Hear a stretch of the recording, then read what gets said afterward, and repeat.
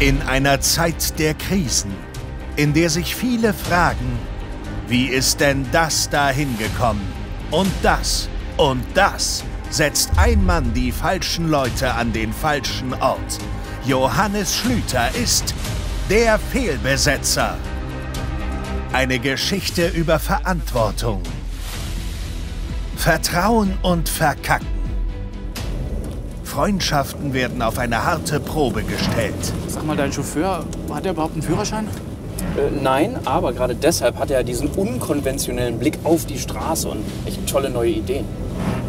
Äh, wir sind da, Sie können da hinterm Haus parken.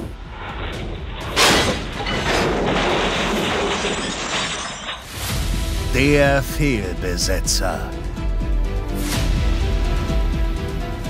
Warum hast du den Scholz als Kanzler besetzt? Weil das in jedem Hollywood-Film funktioniert. Der unscheinbare Loser wird von allen am Anfang total unterschätzt, aber am Ende ist er der Top Gun-mäßige Held und alle lieben ihn.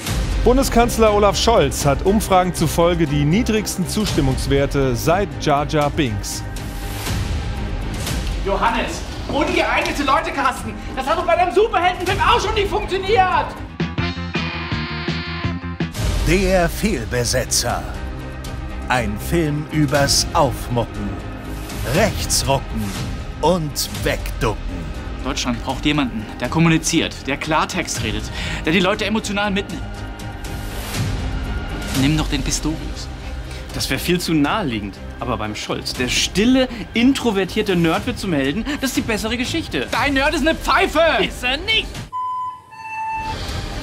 Okay, Olaf, die Loser-Phase im ersten Akt hast du super gespielt, aber jetzt musst du Führungsstärke zeigen. Hm? Führungsstärke! Was ist nur aus dir geworden? Johannes! Pfeife! Der Fehlbesetzer. Demnächst im Kino. Was ist denn das für ein Scheißbild?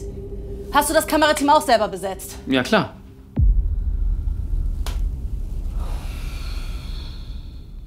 Hallo, ich würde gerne umtauschen, der funktioniert nicht. Was passiert ist, ich wollte extra drei in der ARD-Mediathek schauen, hab's aber nicht gefunden. War ich sauer, hab ihn runtergeschmissen, war er kaputt. Ah, ich hätte einfach nur hier klicken müssen. Hm. Kriege ich trotzdem mein Geld zurück?